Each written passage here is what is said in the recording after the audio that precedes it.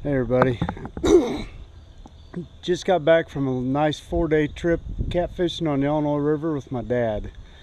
Now it's time to do some serious cleanup. And if you take a good look at this boat, it is absolutely filthy. Nasty. But I've got a product that I know is going to clean this thing up. So, stick with me and me and Better Boat we're gonna get this thing cleaned up shining like it should be. All right step one is done. Step one is using the boat soap clean that scum line. Uh, it's not even a sunny day and look at the shine on that boat.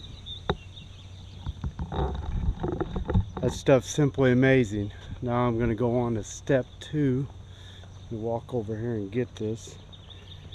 Uh, it's called Better Boat Wax Sealant. Okay, so you can see I've used it several times. You can get a lot of uses out of one bottle. So this is simply you spray it on and wipe it off.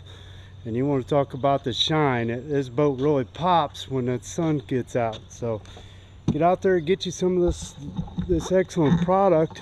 They named it right you know a ranger boat's a great boat but we can always make it a better boat